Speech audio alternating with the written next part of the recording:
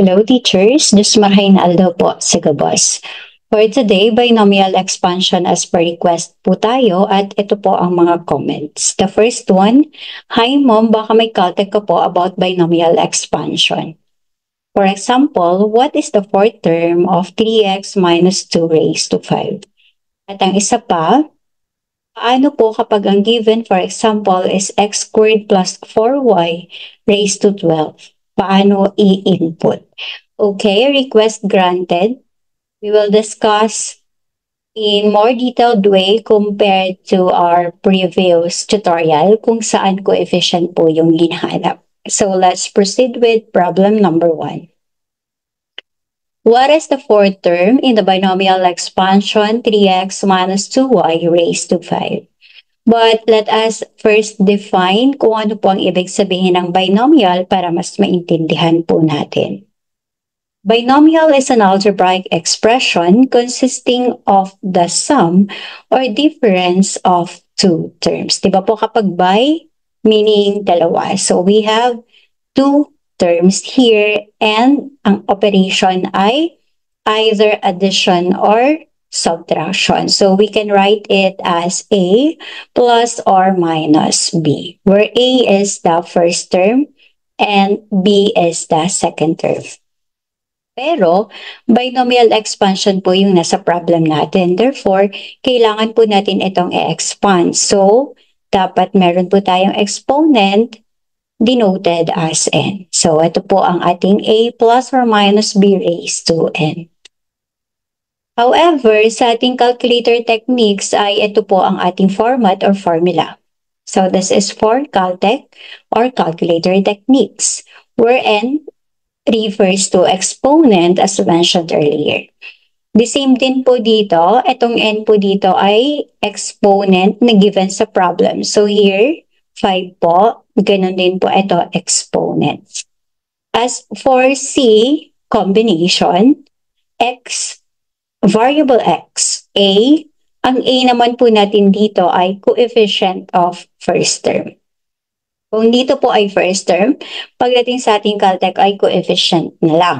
So, sa ating problem, ang first term po natin ay 3x. Ang coefficient niya po ay 3. Therefore, ang coefficient po ay yung number na katabi ng letter. Okay.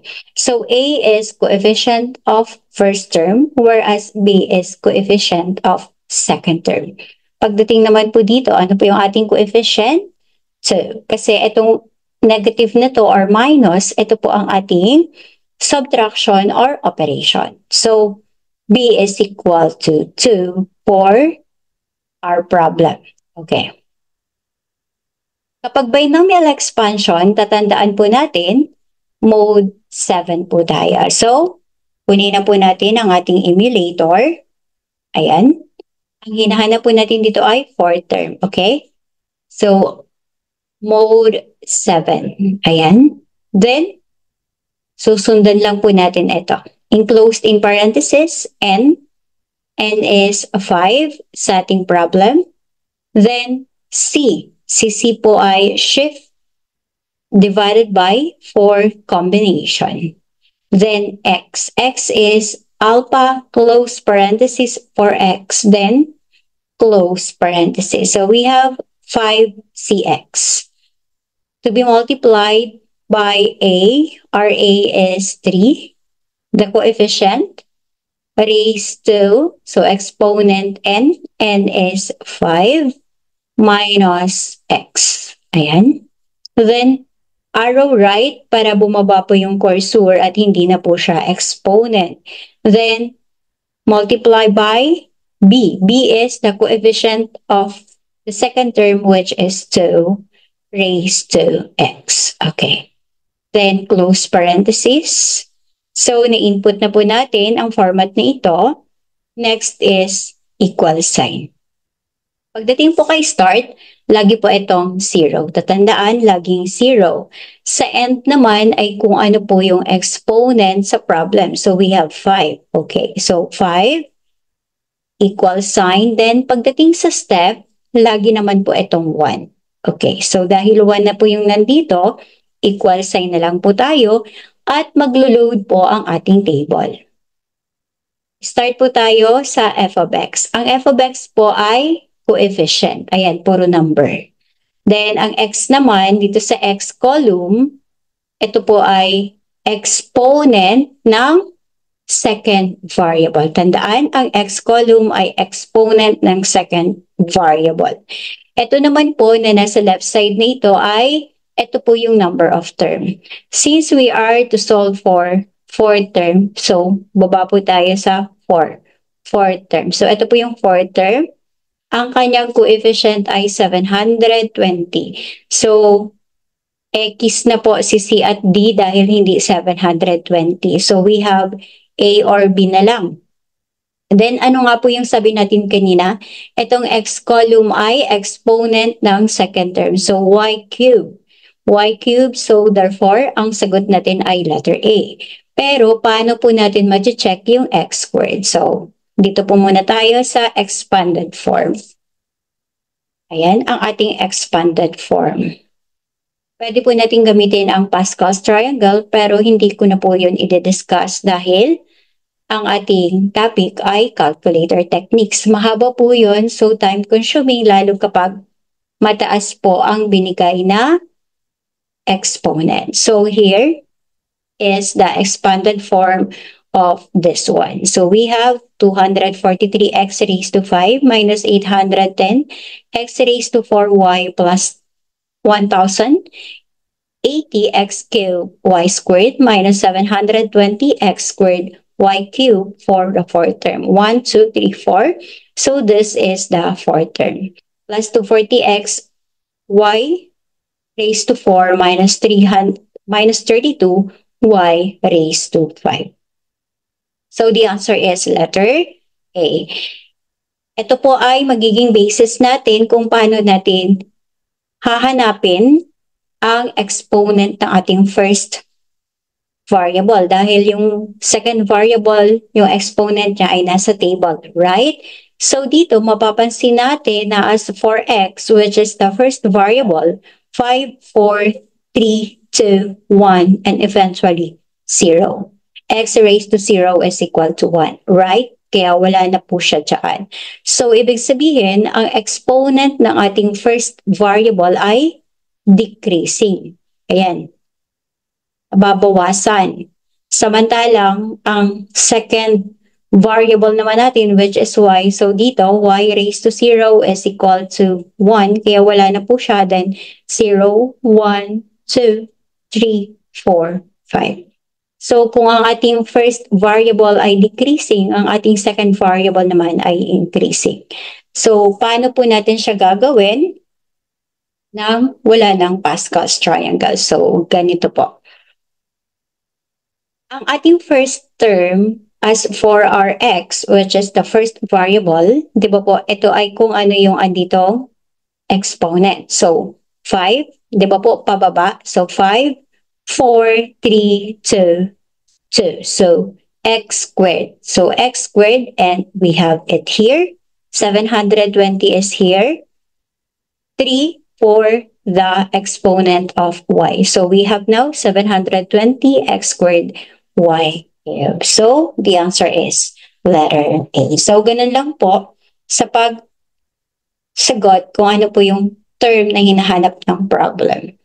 So the process is the same sa paghahanap po ng term and ng kanyang coefficient. So comment number one is now okay.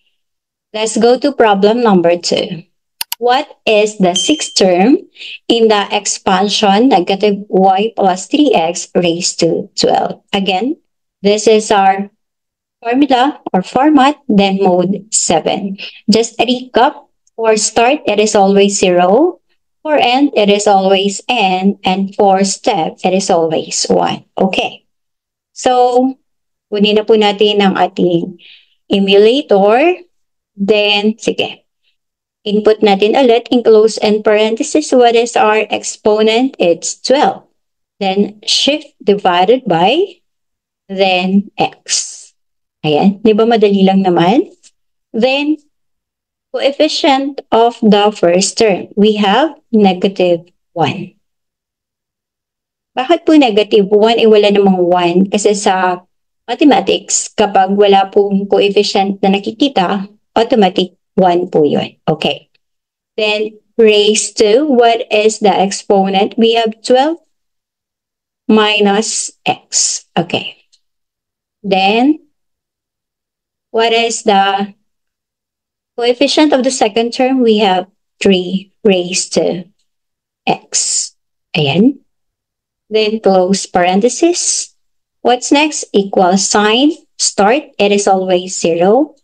And ano po yung given na exponent? We have 12. Okay. Then step, it is always 1. So equal sign. Maglo-load po ang ating table. We are looking for the sixth term. Okay, sixth term. So, ito yung sixth term natin at ang ating coefficient ay 192,456. Remember, negative. Negative, so it's letter C. Let's check x. x po yung ating second variable, therefore, it is x raised to 5. So, check. Let's check for the first variable. Okay, paano nga po ba yon? Mag-start tayo dito sa 1. So, the first term, 12. Then, pababa tayo, right? Decreasing ang kanyang exponent. So, 12, 11, 10, 9, 8, 7, 4, 6 term. So, 6 term tayo. Therefore, y raised to 7. And it is correct. So, ganun lang po katali para sa ating binomial expansion. And Our answer is letter C. Okay. Kayang-kaya? Kayang-kaya. So for the last problem, here is the second comment. Paano po kapag ang given for example is x squared plus 4y raised to 12, paano i-input? Okay, so here is our problem. We have x squared plus 4y raised to 12. And for this problem, numerical coefficient naman tayo. Okay. So again, our format, mode 7. Okay. So let's... Okay. So here, pwede naman nating edit na lang or here, oh, it's all already 12. So here we have n, which is the exponent, so 12. C, shift, shift divided by, and x. Okay. Then, what is the coefficient of the first term? We have 1, so tatanggalin natin si negative. May bearing po ba yung squared? Wala naman po sa pag-enter natin dito dahil coefficient naman po yung pinag-uusapan natin. Okay? So, 1 pa rin. Then, raised to n. n. n is 12 minus x. Then, what is the coefficient of the second term? We have 4. Okay. So, we have 4. Then, raised to x equals sign. Start is always 0 and is 12. Nagkataong pareho po yung exponent natin. Then, step is 1 equals sign. We are to solve for the numerical coefficient of the fifth term. So, 1, 2, 3, 4, 5. The numerical coefficient is 126,720. So, we have 2. So, we have A tsaka C. Kapag ganito po na dalawa ang makikita natin sa choices na pareho, so we have A or C, right? Here, ang pipiliin po natin ay yung naun nauna lagi. Bakit? Kasi usually sa pagta-type ay copy-paste. So malamang ito ay hindi napalitan. Kinopya niya lang po dito. Imposible naman na inuna natin si C, right? So our answer will be letter A sa mga ganitong case. Okay. So, ang tanong paano input, ganun pa rin. 1 and 4 as for A and B respectively. So, what if the question is, what is the fifth term? So, dito na po, mag-vary ng ating pag a-analyze. Okay, what is the fifth term? Kailangan natin ditong i-consider ang exponent ng ating variables, right? So here we have 4 sa ating x column. So what is the second variable? We have y. So we have 126,720 y raised to 4. At ang ating x squared, paano po natin siya gagawin? So, fifth term, okay?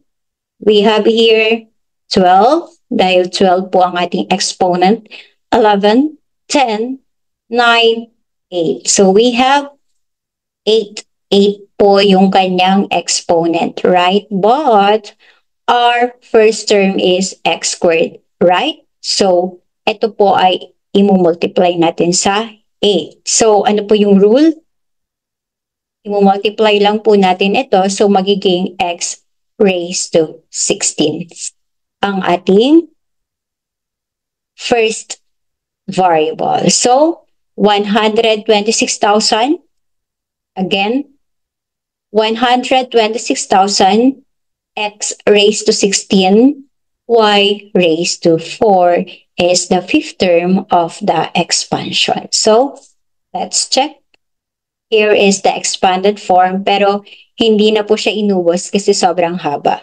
Okay, the first term, second term, third term, fourth term, fifth term na hinahanap po natin. So, 126,720x raised to 16, y raised to 4. So, ganun lang po para sa ating binomial expansion. So,